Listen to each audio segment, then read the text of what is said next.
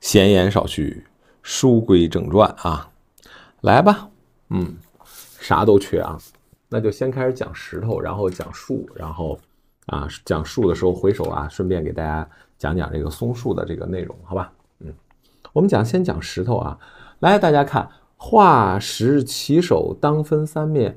那讲画石其手，当分三面。观人者，必曰气骨，实乃天地之骨气，而气亦存焉，故谓之曰云根。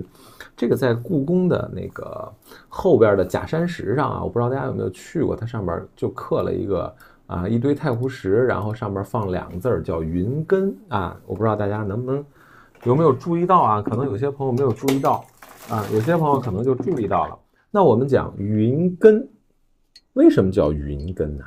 哎，石是落地的，对吧？那把这个云根落下来的时候，在这个里边，你一定要注意。有时候啊，古人呢，在在这个画里啊，都讲的比较清楚，什么叫云根？云的根在哪儿？在什么地儿啊？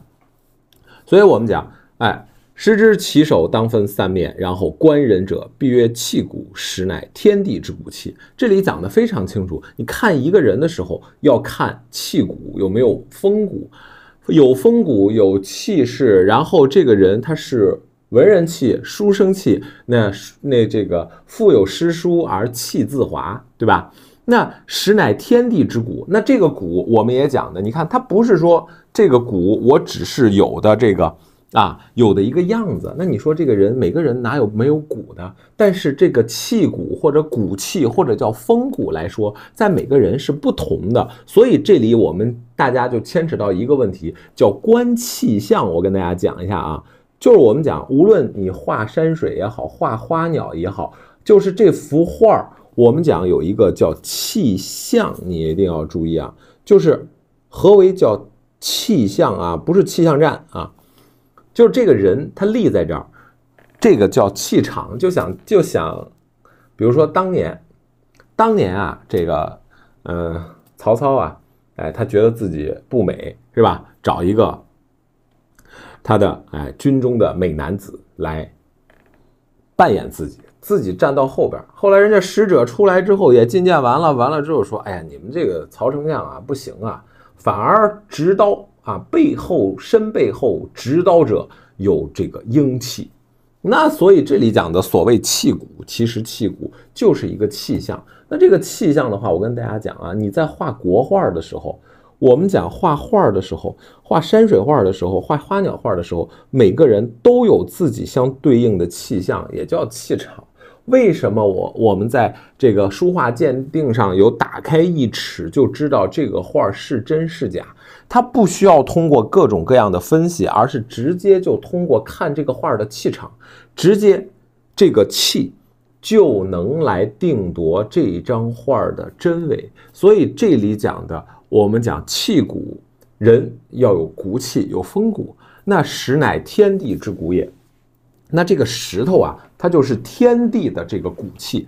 那在天地骨气里面，我们讲天地的骨气，在这个我们的这个郎中里，郎中他好讲这个正气，对吧？那这个正气、邪气这两个，在传统绘画里，他也要讲。所以石乃天地之骨，而气亦存焉，存是在。气是在山石当中，然后有所变换，或者是说在山石当中穿插其中。没有气的石头，自然而然它是没有用的。而这个气息是贯穿于石脉当中，贯穿于山石当中，故为之云根。所以云是围绕于山石，而山石里面又不仅仅是云，而这里讲更重要的乃是气。而这里的气，它亦称为云之根啊，或者说石头，哎，因为有了这个石头，所以由石头而引发出来的很多东西，就称之为云之根。所以在这里面，我们讲何为云根，大家一定要知道，不是这一块石头，一定是有骨气的，立于天地之间的这个，称之为云根的石头。啊，一定是有骨气的。这里就讲可以讲有气节的，是吧？有风骨的哎，所以这个大家一定一定要知道，何为气骨？骨气，对吧？然后无气之时，乃为王，乃为顽石，没有气的。啊，没有骨气的，没有气节的，是吧？软塌塌的，那这种你画出来的石头是无精神的东西，所以为之顽石。有无气之骨，则为朽骨。没有气的东西呢，就为朽骨。岂有朽骨可施于骚人运势笔下乎？那没有这个。骨气的石头，那怎么能够立于骚人运势的笔下呢？就是如何能够被人家画出来、说出来、赞美出来，用诗歌、用艺术的表现形式去表现出来呢？对不对？我们讲通过艺术的表现形式，诗歌、绘画、舞蹈、音乐，所要表达的是。我们是这个作者内心的一种表情，那内心是因为看到了好的东西，看到了美的东西，它由心中而抒发的。那这种东西，如果气场不合，是不是就不能够写出这种东西？对不对？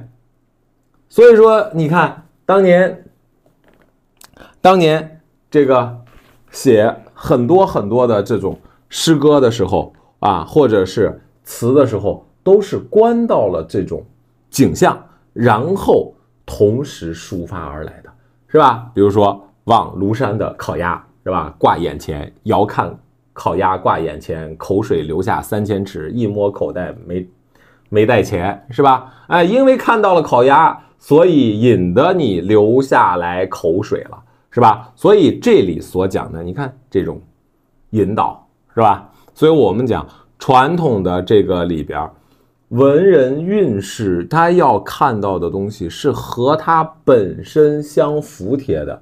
那中国文人这种骚人运势，他是一定要有士大夫情节的，同时他还要有自己的这种我们讲气节的，是和他的气节相并论的。所以你看，松竹梅或者讲梅兰竹菊四君子也好，我们讲岁寒三友也好，都是表现文人气节的东西。所以文人有时候为什么喜欢这些东西，就是因为有气节、有骨气可以来表现。嗯，你没见哪个文人是吧？哎，画一个狗尾巴花，你没见哪个文人是吧？然后画一个。这个这个普普通通的啊，路边的小野花进行大肆的赞美，是吧？啊，最多赞美个草，是吧？离离原上草，一岁一枯荣，是吧？啊，没有见过这个狗尾巴花儿这种，对吧？它和本身的这个文人运势，它不能够相联系，那自然而然就不行了。那所以说，那都知道了啊，文人运势要置于笔下，然后来画这个东西。那我们讲。是无气之时，故不可；而化有气之时，即密气于可琢磨之中。那我不知道画什么样的是不行的。那我画这个有气、有骨气的这个石，那找到这个气在可琢磨当中，那怎么能够把这个气画出来呢？哎呀，这个里边啊就太难了，怎么能够琢磨呢？悠乎其难，就是非常非常难的。我不知道该怎么去画，不知道该怎么去表现。所以他在讲画山石的时候，你一个问题就是不知道该表现，那怎么会难？其实你看，古人在讲这个《芥子园》的时候，大家一定要注意，《芥子园》在讲这个内容的时候，他一定是要。把它讲成一个白话文，或者说讲成一个老百姓听得懂的内容，因为毕竟老百姓对这些东西啊，他不是全都了解的，因为学画的人也不都是文化水平很高的，他需要能够去熏陶，需要能够让他们用浅显易懂的文字读明白、读清楚，这就是我们讲。《芥子园》它是一本初学的书，而这本初学的书是一定要让大家学起来的时候都能够听得懂、听得明白、听得清楚，这样的话就好办了。如果都搞得啊听不明白、听不清楚，那不就是安徽的车牌子白玩了吗？所以你看，大家看啊，大家看这个里边啊。一定一定要注意啊！一定一定要注意，这是我们讲的这个啊。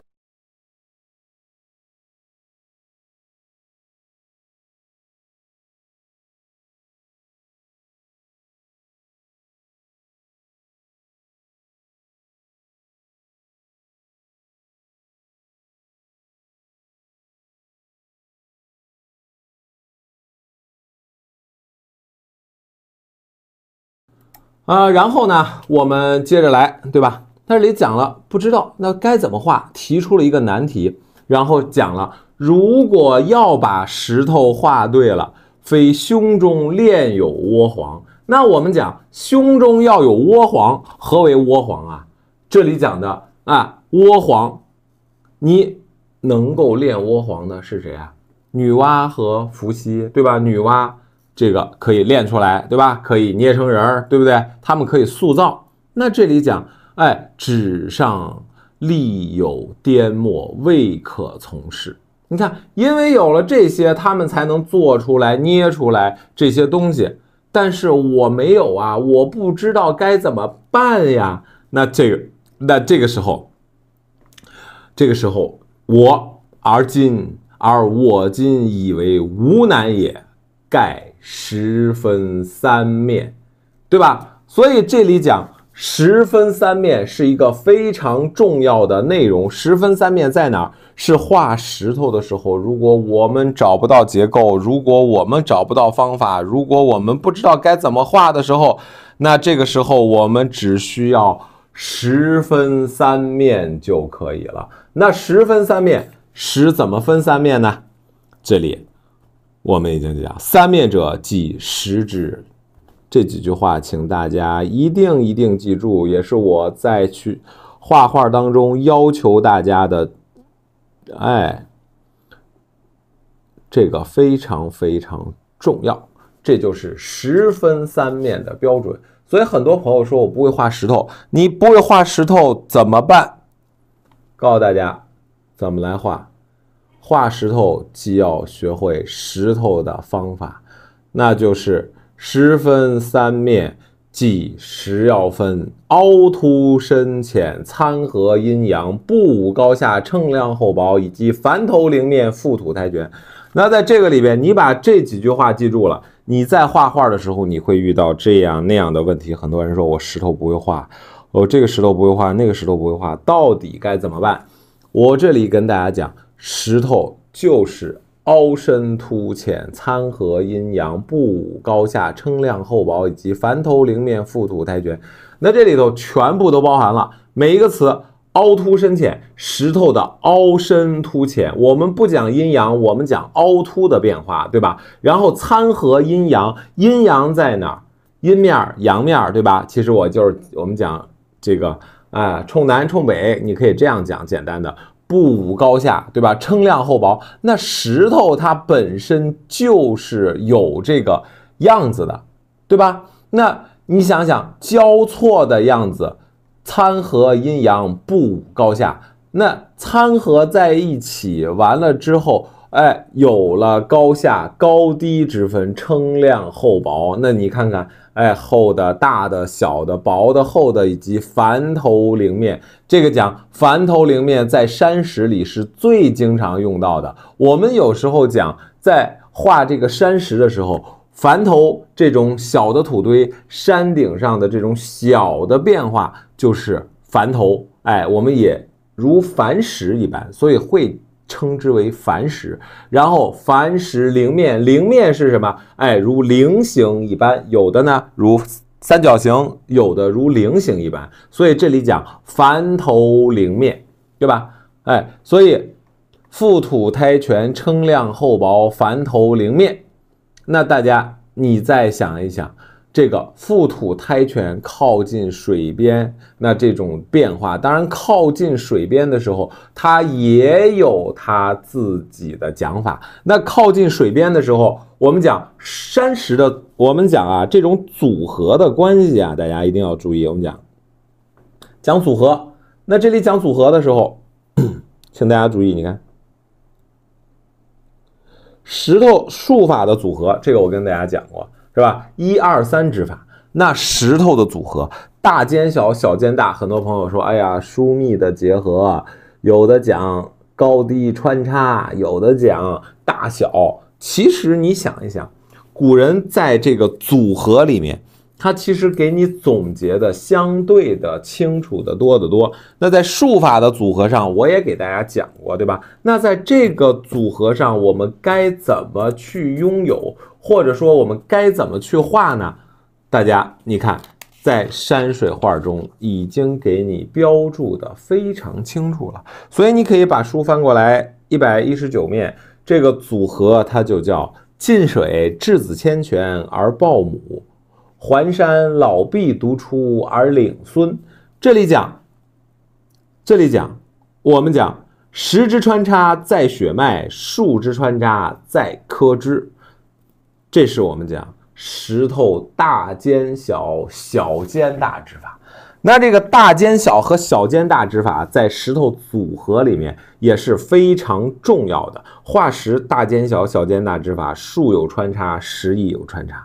对吧？哎，这种穿插，树之穿插在科之，石之穿插在血脉。那何为血脉呀？那血脉的关系，这里边讲了，哎，大小相间，哎，大小相间的变化呀。大家想一想，在这个里面，你如果能够把这种大小相间的关系能够合并起来，但是你看这里讲大小穿。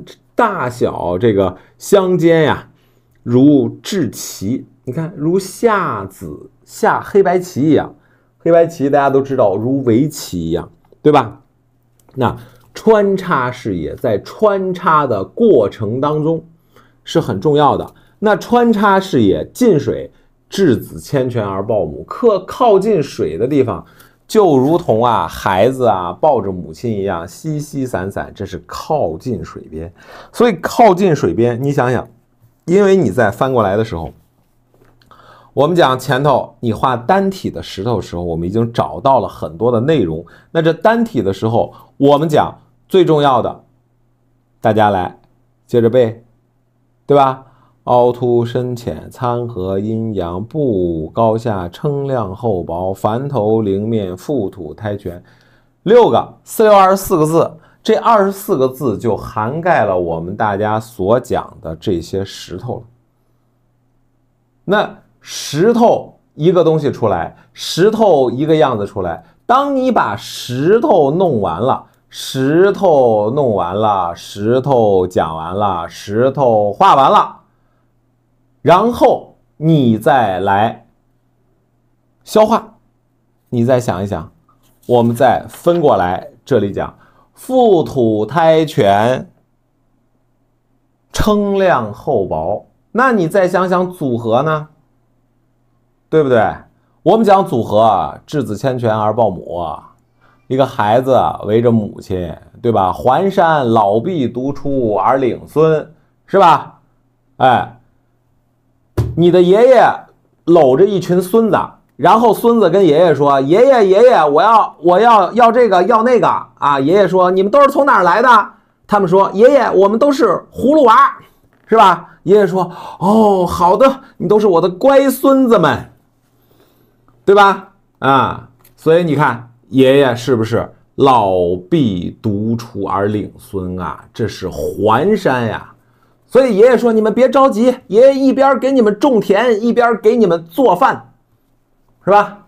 哎，爷爷可以一心二用，胡老师不能一心二用。胡老师讲课就是讲课啊，胡老师画画就是画画，做不了一一心二用的事儿，所以胡老师也当不了爷爷。胡老师只有当孙子的份儿，是吧？嗯，所以呢，您就不用给我提那么多要求了。您能听您就听，不能听您就该干嘛。”干嘛去啊？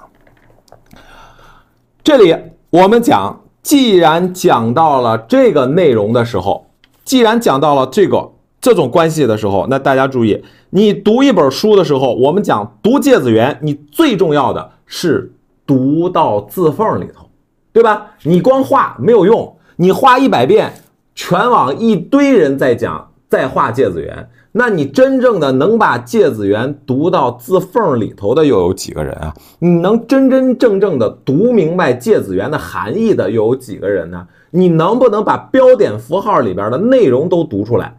这个比你边讲边画还有作用。你能听明白我今天讲的文字？我告诉你，你这辈子，你到你闭眼那一天，你都会想，只要一想到画山水画，你就都知道胡老师讲的真他娘管用。就比如说，我让你去背芥子园的山水开篇。画山水必先画树，树必先干，干力加点则成茂林，增枝则为枯树。下手树笔最难，当审阴阳相背，顾盼左右，当争当让，或繁数增繁，或简而易简。故古人作画千言万壑，一挥而就，唯独看家本领树。大非经营。若作文章，先立肩胛，肩胛肌理润色，何难？当书四奇，四奇者即十分三面，数分四枝也。那你把这个树背熟了，你后边你想一想，你画任何的树。都离不开芥子园的开篇而且不仅仅画树，你就按着树的这个组合，你画石头也同样。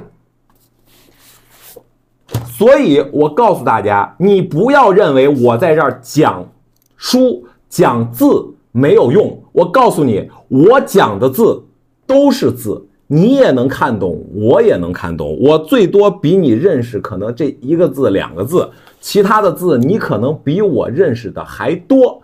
但是，我今天就敢把话放在这儿，我讲的这个字缝里头的东西，你是看不到的。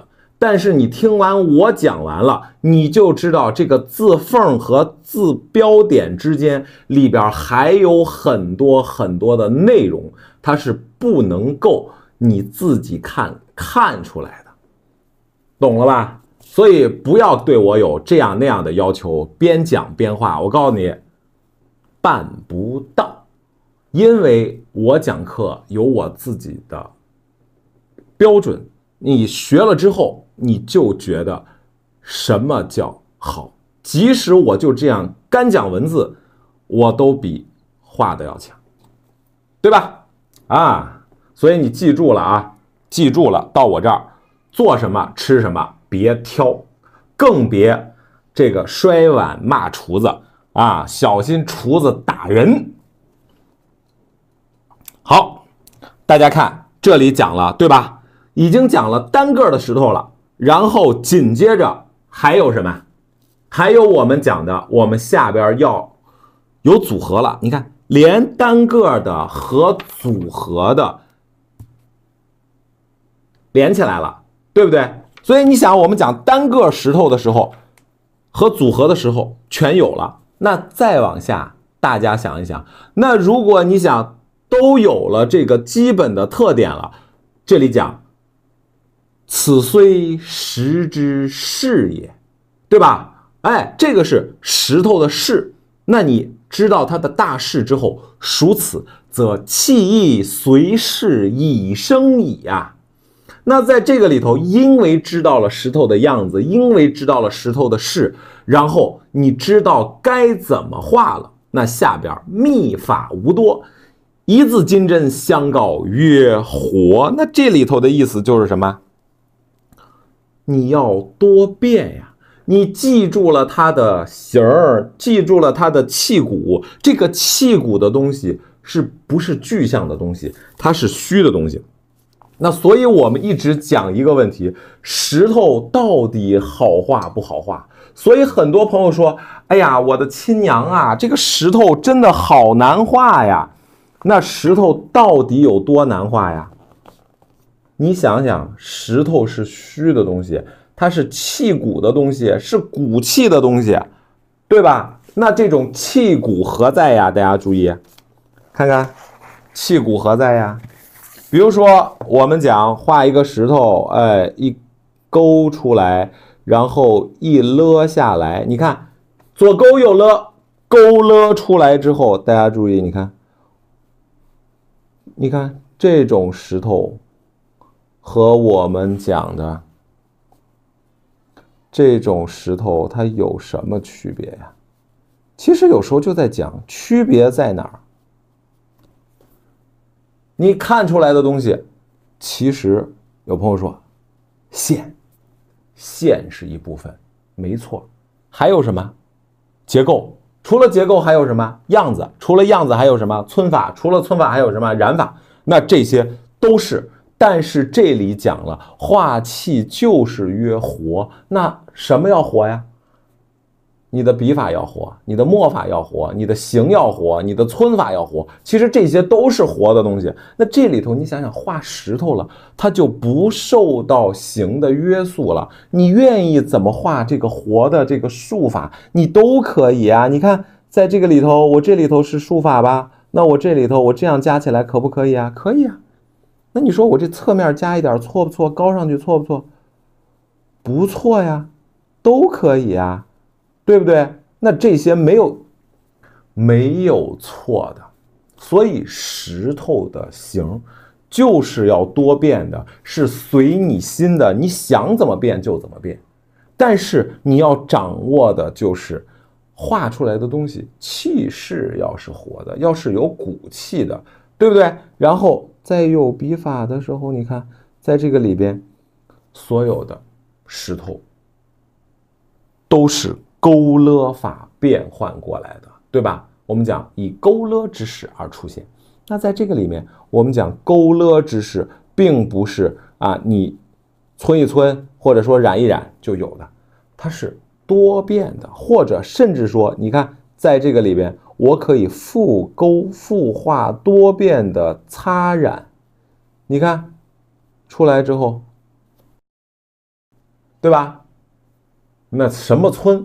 那再单说，但是至少这里讲的一字金针活，然后气要随势，而这个气随势，其实也可以再给它相对的去讲一讲这个势。其实气随势来说，你比如说我画这个大石头，对吧？哎，你出来，对吧？那这个石整个的势是这样的。那我们在画这种势的时候。我是不是在画这种皴法的时候就可以整个的大势出来呀？对吧？你这样看着比较好，对吧？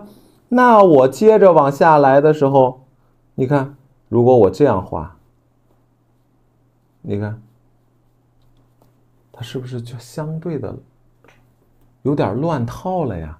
或者说，相对的它不能够成样啊？或者是违背了之前的和之前的东西不统一啊？你看，你这样可能画出来之后，你就会觉得确实有一些格格不入，对吧？这个势我们可以简单的理解为统一的大势，对吧？那你看，当这个里边都是往下涨的时候，对吧？这个里边都是往下涨，那你非得弄一个石头。这样来，你再活，它也变不出来吧？你再活，它也没有样儿吧？对吧？所以你看，施法一字金针活，然后十分三面。所以这里是我们讲，你用笔的变化。还有你在画的当中是要找到这个相对统一的东西，而又要掌握这里所谓的活，对吧？哎，所以这块儿一定一定要知道。然后 这个石头其实相对的很简单，说实话，石头呢在前边啊，我们讲过很多啊。回头重要的是要给大家去讲这个数的内容，嗯，啊，没点关注点关注啊，没加粉丝团的加粉丝团，点上方的黄色小星星加我粉丝团啊。明天早上的牡丹课取约去啊。今天早上牡丹课学的怎么样啊？大家学的 happy 吗？今天早上是不是把这个牡丹课大家学了之后，你发现这个牡丹和过去不一样了？或者说，有些朋友说我最不爱画牡丹了，但是一听胡老师讲完之后，我觉得这个牡丹课上的还不错，是不是？有这个吗？昨天有这个感脚吗，同志们？所以要动手画呀，特别是很多新的朋友啊，你在画牡丹课的时候，在学牡丹的时候，你可能一开始一开始你，以前不喜欢牡丹，但是你听我上完了这个牡丹课之后，你突然发现，哎，原来牡丹可以这样讲啊，原来牡丹这个基础可以这样练呀，是不是大家就感觉不一样了呀？这个牡丹原来可以这样讲啊，是吧？它就是这样的。这个牡丹，你只要方法对了之后啊，咱们讲你在干、在画其他东西的时候就可以了，是不是？今天这个基础，后来那个牡丹的基础课大家画了吗？是不是很有帮助啊？有帮助吗？同志们，你们觉得看了吗？那个牡丹的内容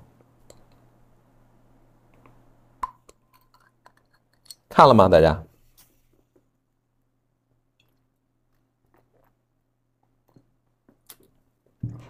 好，接着啊，嗯，好，练了，练了就要动手，就要去画，千万不要停啊。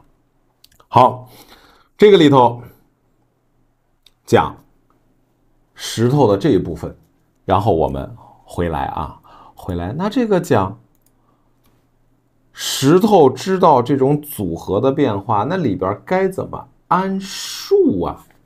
安数的话，其实我们讲数法，芥子园刚才给大家背的那一段数法，是我们把芥子园的一个精华的内容给大家摘露出来了。那这个摘漏出来的芥子园精华的，你们听听课的时候来点点赞吧，好吧？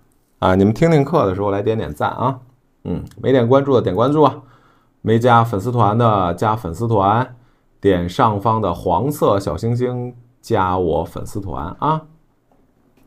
好，然后我们讲这个，呃，什么都不用讲，大家自己老老实实的去背。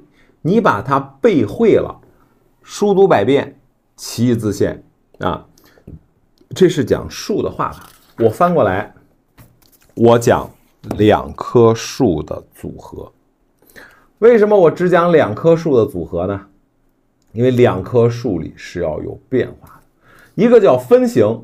一个叫交形，分形和交形的关系，在我们画树里头，你谁都离不开这个芥子园啊！无论你是谁，无论你是谁啊，哎，无论你是谁，这个两棵树的方法一定记住：二株有二法，一大加一小为之扶老，一小加一大为之携幼。老树须婆娑多情，幼树须窈窕有致，如人之聚力，互相顾盼。那这两棵树之间的关系，大家一定要找准了，或者说我们在画这两棵树的时候，要找到这个树的方向，或者说树要有自己的生长规律。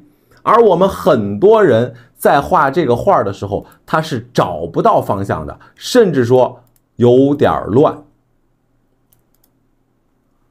现在能把两棵树的位置关系画好的朋友，来发个一，我看看有多少朋友能把两棵树的位置关系画好。没点关注的点关注，没加粉丝团的加粉丝团，点上方的黄色小星星加我粉丝团。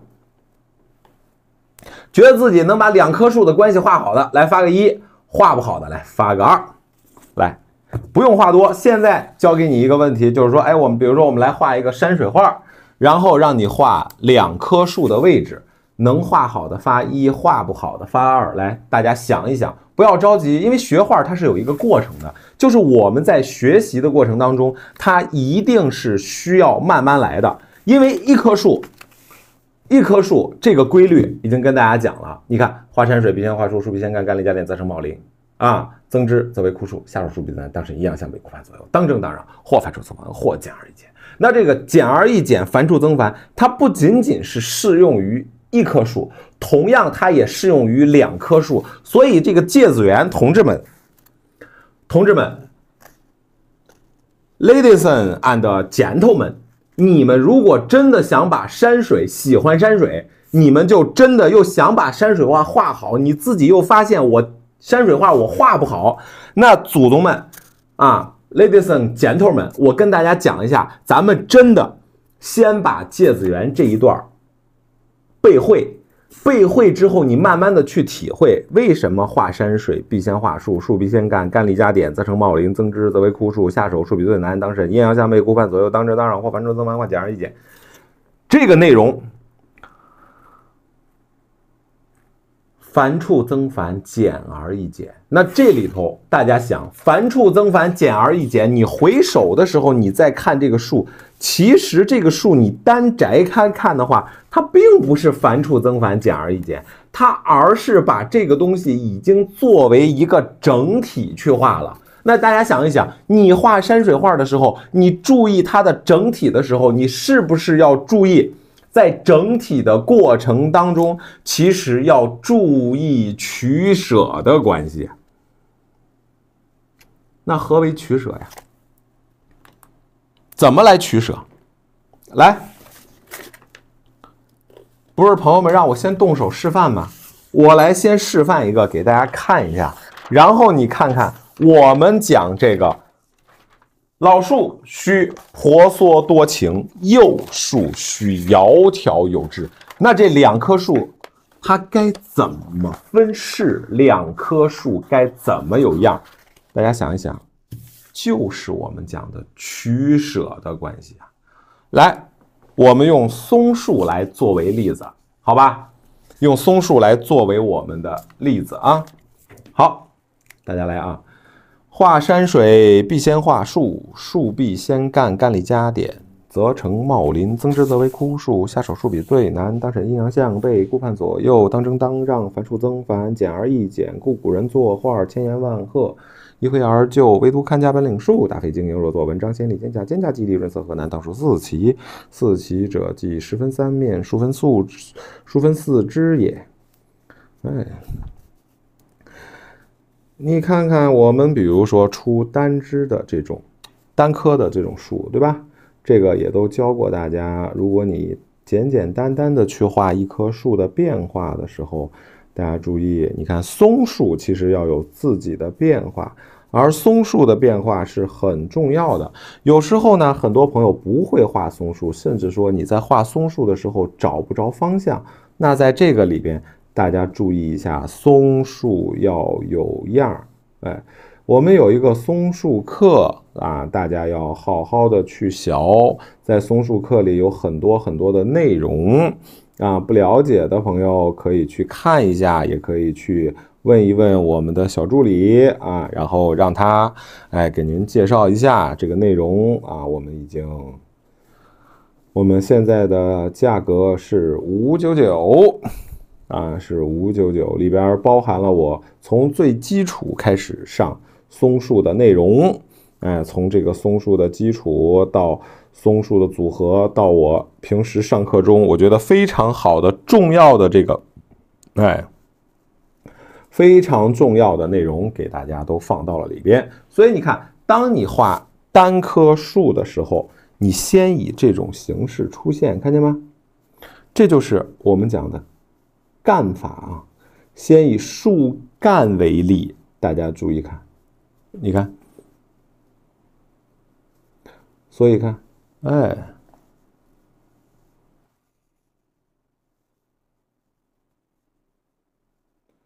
看，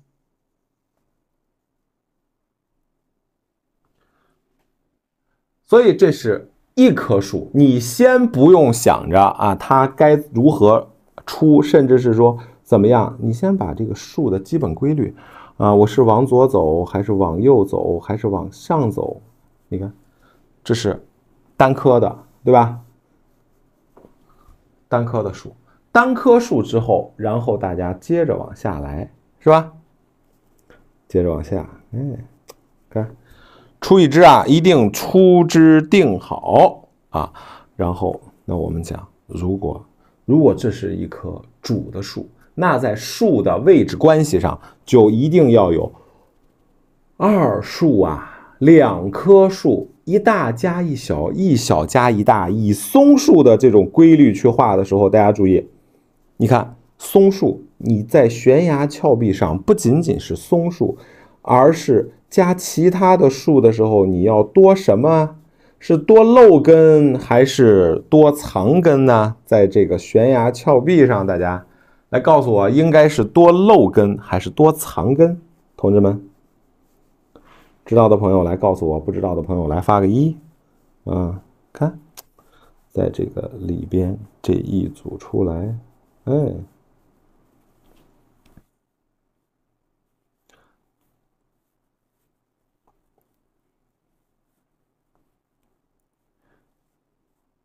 嗯，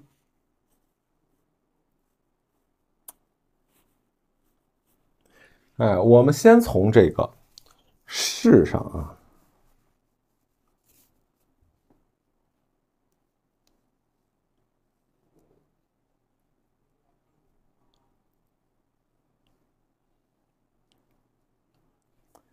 啊，你可以从各种。上边去长出来，对，多漏根，没错。那你比如说，我们讲在这个里边，如果说你看从这种市面事态上看出来的时候，大家注意看，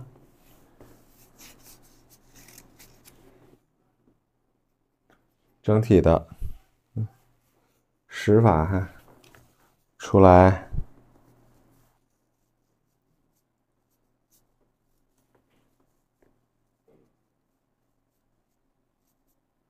蹲下去，哎，对，因为土少，土少的话，它自然而然就能有样了，哎，呃，红茶做旧，红茶刷绢，红茶做肌理，呃，不是红茶做旧啊。那前两天这个前两天就有朋友说，哎，为什么画绢不不做旧？我都懒得回答了，后来就，啊，都感觉他们就是这，所以我后来我都我都不回答了，啊，没法回答。为什么不做旧？刷成黑色咋画呀？我们下一张画就会用红茶去给大家做旧，啊，过年了，大家都喝茶，对吧？那这个时候大家。可以来，下一张画，下一张画，大家自己注意。你看十分三面，稍微抄一点是不是就出来了？对吧？抄一点出来，然后你在接的时候，你注意整个的这个变化。没点关注的点关注，没加粉丝团的加粉丝团，点上方的黄色小星星加我粉丝团啊。没点关注的点关注，没加粉丝团的加粉丝团，点上方的黄色小星星加我粉丝团啊！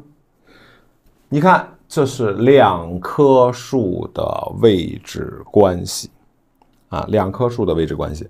那这两棵树的位置关系的时候，能看明白吧，同志们？能不能看明白，同志们？没问题吧？老树须婆娑有致，幼树须窈窕多姿，是吧？嗯，看错了，嗯，太多了，都搞迷了，都都搞迷瞪了。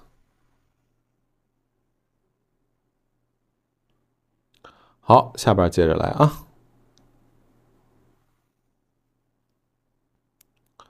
还不对呀？什么情况啊？今天这个是？稍等一下啊！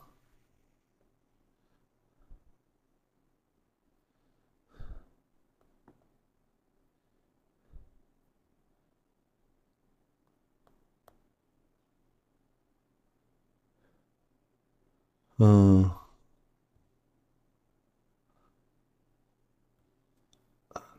这个吧，是不是这个？出枝平行了，不要着急啊！千万千万不要着急，没到改的时候呢，亲。只是先告诉你这样出枝哈，还没到改的时候呢。看好了啊，睁大眼睛，睁大眼睛，看好了。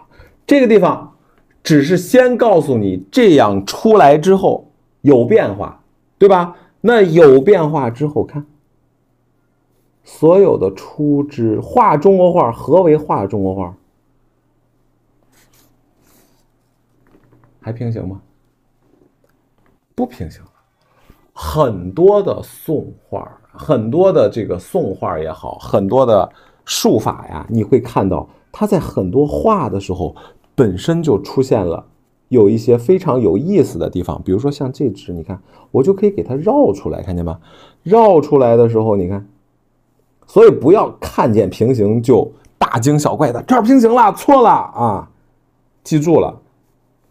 古人的绘画，那都是在改画的过程啊。以前黄胄先生这个说话说的时候，哎呀，这个画啊，就是在不断的就改画啊。哎呀，错了改，改了错，找矛盾开始改，是吧？所以千万大家在画画当中，在学画当中，不要大惊小怪的，这都不是事儿。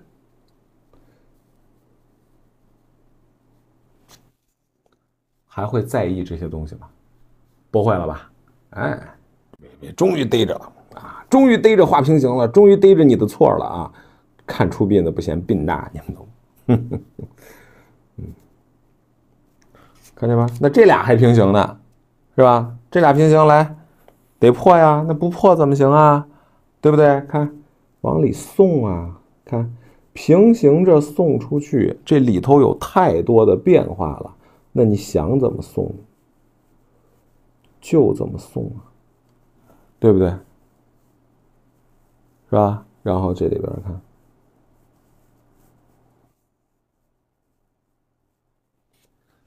那下边就是无非就是出枝的变化了，对吧？我们讲这里边出枝的变化，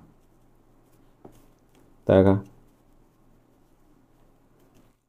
再往下，没点关注点关注啊！没加粉丝团的加粉丝团，点上方的黄色小星星加我粉丝团啊！你看，一定要注意这种出枝的变化。那这里我们看，大家讲，窈窕有致也好，婆娑多情也好，其实在整个画面里头，你看，不过如此嘛，不就是找节点嘛？对吧？你找到这种节点的变化，然后里头干叉叉的，愿意有就有，不愿意有就没有。你看，稍微的去加一加，对吧？所以大家注意看，多加也行，少加也行，不加也可，没有问题。没有人会刻意的说：“哎，你这个画的不对，你那个画的对。”没有，啊，没有人会这样。所以你注意的两棵树的这种关系就可以了。剩下的东西，你愿意去加，比如说，哎，我愿意去加一个这个松针，你愿意加你就加呗，是吧？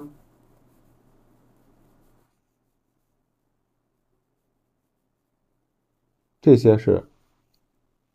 随便你自己的，你愿意往哪儿加你就往哪儿加，但是记住了，别给画平行了啊！这玩意儿画平行了很难看。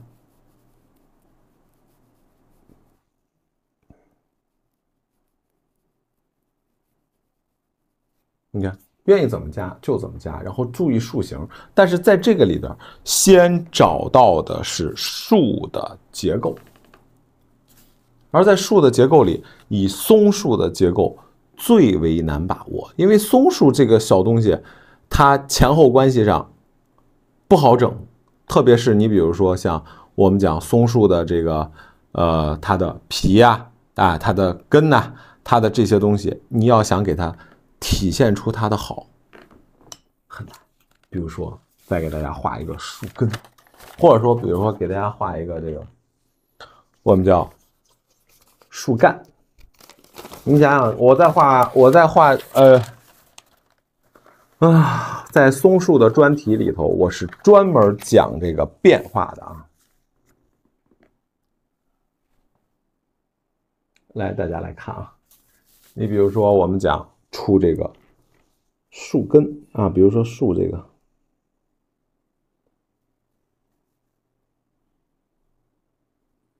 你看我们来走这一组大家注意。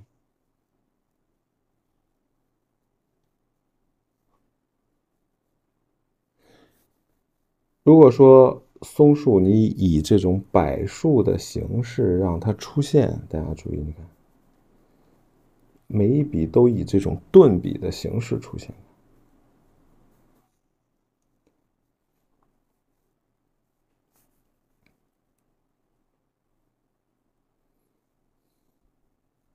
不用刻意的去染，就先这样一笔一笔的画出来啊！早上不有朋友说这个叫书法用笔吗？OK，你看，你可以用这种啊，像刷子一样，或者是说让它有变化的这种用笔，然后出来这种样，看见吗？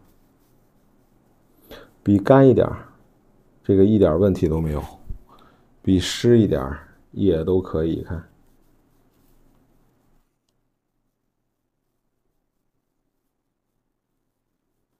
你看，这是干啊，对吧？你这个干其实单笔出来，干村以干村的形式出现，那这是婆娑多情的啊，和画小树是两个概念啊。小树我们叫窈窕有致，窈窕有致和这个是。大家一定注意啊！一会儿再给大家示范一个窈窕有致的小树啊。你看，比如说我们画到这里边，这是老树啊，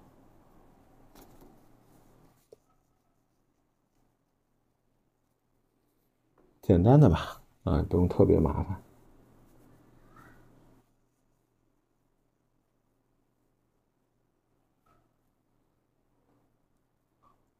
大家看。起来，下来，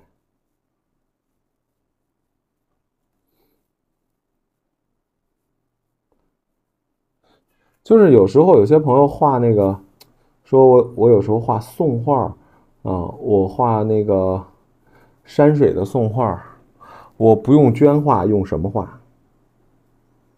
山水的宋画不用绢画。可以用熟宣来画，明白吧？哎，山水的可以用熟宣来画，所以你看，出来，看吧，这里讲的是老树，所以这里讲老树须窈窕有致啊，然后婆娑多情，然后幼树须窈窕有致。那窈窕有致的时候，整个是这样。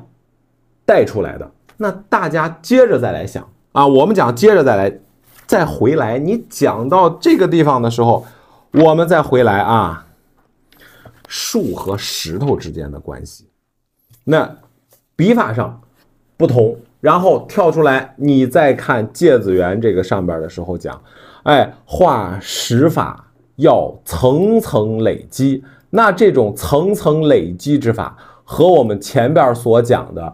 这种方法是不一样的，那怎么画出来？那这里讲了层层累积要出样，对吧？一字一字金针要是活。那这里讲画石法要哎层雷取势之法。那这里讲层雷取势之法，与所谓一字金针曰活者，犹须于三面未分，然后一笔出下，具有。磊落雄壮气概，这里讲何为磊落雄壮气概，就是讲你在画山水的时候，你这一笔下去的时候就要有气势、有变化。那何为一笔磊落之势啊？而这里讲的一笔磊落，就是讲的下笔左勾右勒，在起手当中要先找到它的重点。那很多人，我们讲在画画的时候要注意啊！哎呀，我一画，我一画芥子园，一画山水，总找不着方向。那在找不着方向的时候，哦，对了，刚才，呃，有新来的朋友啊，我讲芥子园开篇术法的时候，不好意思啊，这个树干每一个内容讲的清清楚楚，每一个内容讲的明明白白，它的出枝怎么画，它的这个示范怎么做，包括这个每一个字字缝里边的内容，包括这个的临摹啊、对临，我的这个助手那儿都有啊，都有。您可以点击咨询，点击咨询，然后到他那儿，让他邀请您进社区，完了之后把这个内容给您啊，把这个内容给您，好吧？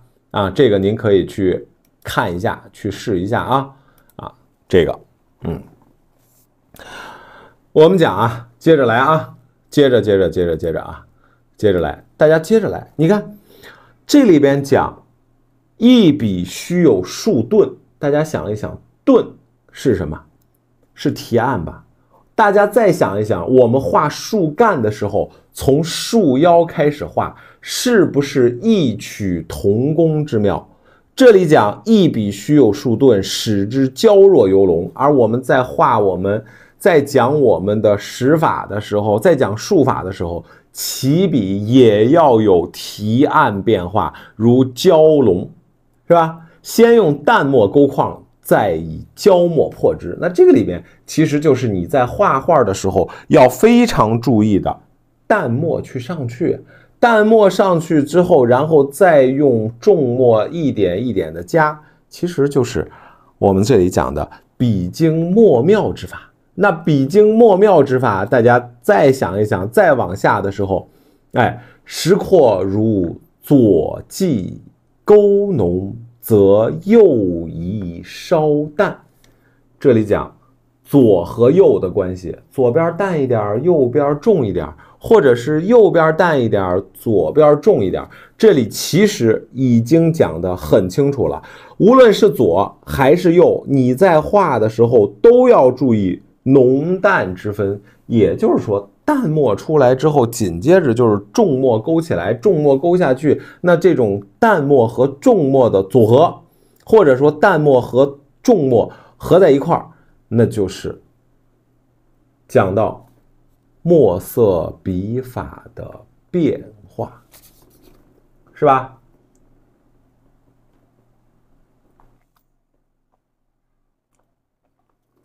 我们讲到。墨色和笔法的变化的同时，看看，哎，千石万石不外参悟其法。你看我画再多的石头的各种变化的时候，都是用这种方法去画的。那我用这种方法再去画的时候，参悟其法，其中又有大兼小、小兼大之别。画成依廓加皴，依照轮廓，然后加以皴法。那皴法加完了，见有游刃。当这个见有游刃，虽诸家皴法不一。虽然哎，很多人各类名家他们的皴法不同，而实体因地而施。那石头啊，是根据因地制宜的这个石法而画的。寄于一家之中，尺幅之内，哎，有山有水有形，不外乎就这几法嘛。所以，哎，不踏论，没有别的变化。那再剩下的，就如同米家山水。那米家山水是墨点儿画成，不须勾勒，但是然不勾其中，意未尝不具此法呀。与层层烘染处逼出。甚森严也。那这里讲的更把它套进去了，套到什么里头了？都是按照这个结构去画的。那按照这个结构去画的，米家山水并没有按照轮廓，但是它已经超越轮廓了，已经把轮廓的东西去抛弃了。那在你讲芥子园的时候，你画芥子园书法的时候，你是不是就不能？不讲，或者说不能不说的内容是这些呢？所以，我们看大家，你看看讲芥子园术法，讲芥子园史法，其实它很多的东西是可以结合在一块儿的。你用笔，这里讲活，除了用笔活，除了行的活，那大家你想一想，画树是不是也是一样啊？其实为什么？有时候要两头合在一起讲，或者说两头要连在一块儿一块儿去讲呢？其实它有一个问题，就是这个问题在于二者的用笔是否相同，二者的理念是否相同。画树的时候，树虽然有树形，但是石头也有石头形啊，它们都拘泥于形本身，但是又都。不是拘泥于树本身，那你看哪个树市面上能长能长出这样的树啊，对吧？那哪个石头能长出这样的石头一模一样的石头呀？不可能的。那但是树也好，石法也好，它是置于你心中的东西，而置于你心中的东西是不变的，是可以留下来的，是可以长存的。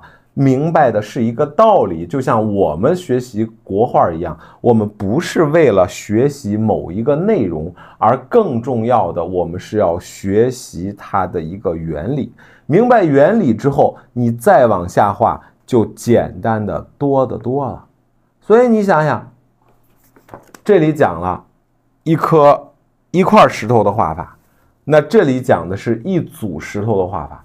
大家想想，这个原理的过程当中是不是相通的？就像我们来画这个山水画一样，来画这个树法一样，一棵树的画法，然后联合于多棵树的组合，在多棵树的组合当中呈现出整体的树的样子，对不对？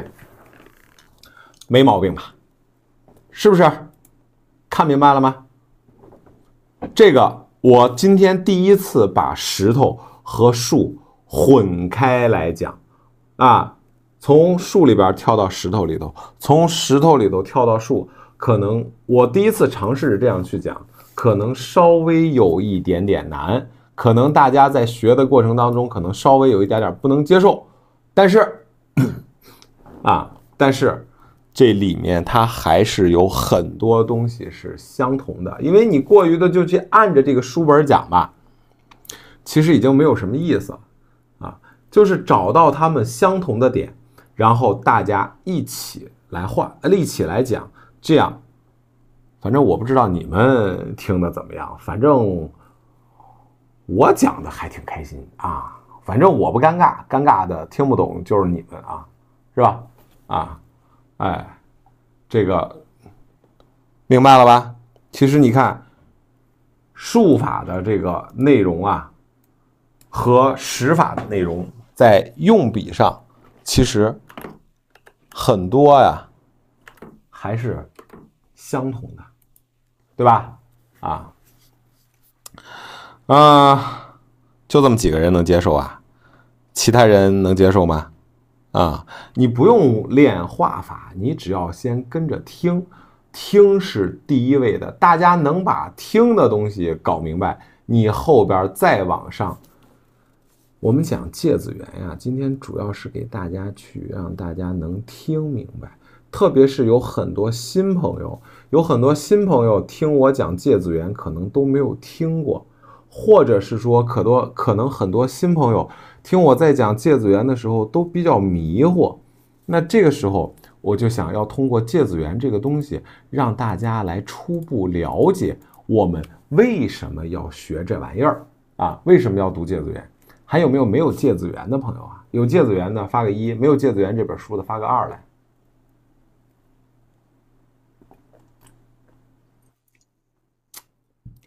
它呢近似于白话文，但是呢它又比。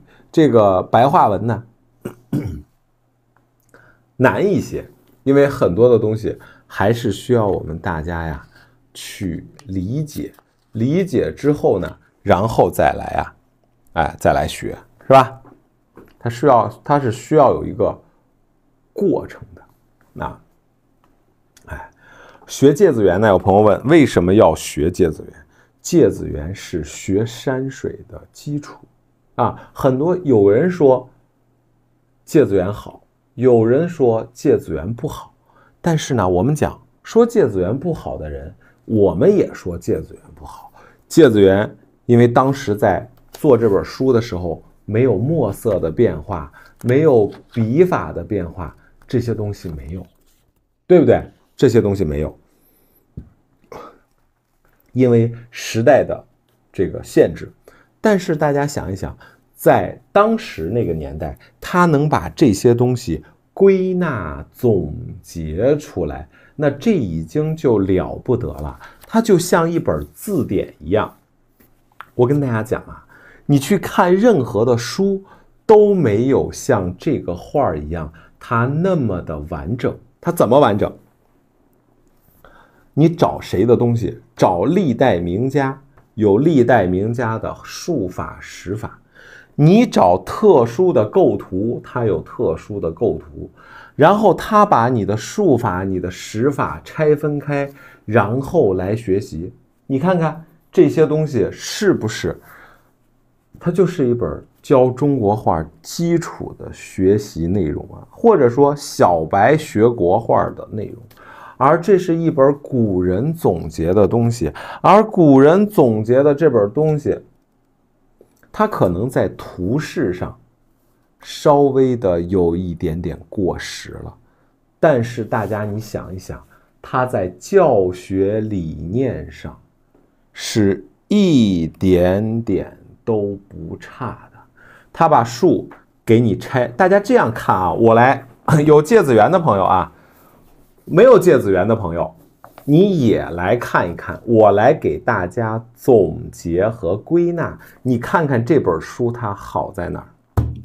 第一页，这个翻过来啊，我们前面的先不看。我们这里讲树谱，你翻过来树谱，它这里讲画树起手四奇，这个我们也都不讲。来，你看一看，一页、两页、三页、四页，到这五株。好，你来看起手四奇，这是教你画一棵树的。然后这里翻过来教你画两棵树的关系，这里教你画三株画法，这边教你画五株画法，也就是到五株则千株万株可以类推了。大家想一想，这几页是不是教你在我们传统绘画里，或者说我们？在我们学画当中，或者说我们中国人学东西，一生二，二生三，三生万物啊。这里是一棵树出一棵树，出两棵树，出三棵树，出五棵树，具有代表性的。当你知道能出五棵树的时候，就能画一片树林了。但是这个树它并没有告诉你是松树、是柏树、是杨树、是杂树、是桦树，对不对？它没有告诉你是哪棵树。是不是？大家想一想，它只是把这些树作为一个姿态变化的一个过程，就等于说，无论什么树，画五棵、画三棵、画两棵、画一棵，它都用适用于这种关系，没毛病吧？没毛病吧？大家对不对？人民美术出版社的啊，大家你想一想。这第一部分是不是就是一个总结？各种术法，只要是你会画这个这五棵树的组合，你就会画千棵树、万棵树。那这五棵树里可以是松树，可以是柏树，可以是杂树，可以是这个啊桦桦树，对吧？都可以，没毛病吧？对不对？那。这已经给你总结了一部分，甚至就可以说，哎，这是第一部分，树的位置组合、位置关系，然后紧接着翻过来，紧接着翻翻过来，这边叫鹿角术法。OK，这里是什么？这里再分一个目录，再分一个专栏，叫特殊的画、特殊的树枝法。或者叫具有代表性的树枝法，那什么具有代表性啊？鹿角法，代表性的一个往上涨，一个往下涨，蟹爪法，对吧？具体问题具体分析了，你会画树位置了，那你肯定这个树枝、树干、树枝它是要有样的。那这里头有鹿角，有蟹爪，然后还有漏根法，你看。上头有了，下头有了，看分得出来吧？然后分出来之后，这里边有样了。好，下边这里头开始有点叶之法了。那点叶之法有梅花数足点，对吧？哎，然后有胡椒点，有菊花点，然后以各种形式的特点，这都是安插在树干上的东西。你想想，等于说这五棵树就立了一个框架，然后在这个框架之上，你可以加鹿角，你可以加蟹爪，你可以加漏根，你可以加胡椒点儿，你可以加梅花鼠足点儿，你可以加迎风取势法，你可以加这个含苞待放法，然后你可以这个哎中间加杂树，你下边可以加小树，你看。到这一页是不是就是丰富这五棵树的枝法呀？你看见吗？是不是这是前边是画五棵树，或者叫五个树干到树枝的变化？那这个里头再往后，等于说把透一部分树上的这些可以有样的东西做了一个总结和归纳。可以配什么？可以是什么样子，对吧？在这几页里，那再翻过来，除了这些，我可以直接加叶吧？那把各种的叶子又分了夹叶和点叶之法。那把夹叶和点叶，它并没有直接安到树上，它只是用图形的方式告诉大家。那大家你再分开来看。从术法的开头七四十一页到六十页，这个是不是就是分了三个篇章啊？没毛病吧？大家看一看这三个篇章是不是分得很清楚？我是不是说的很明白？明白吗？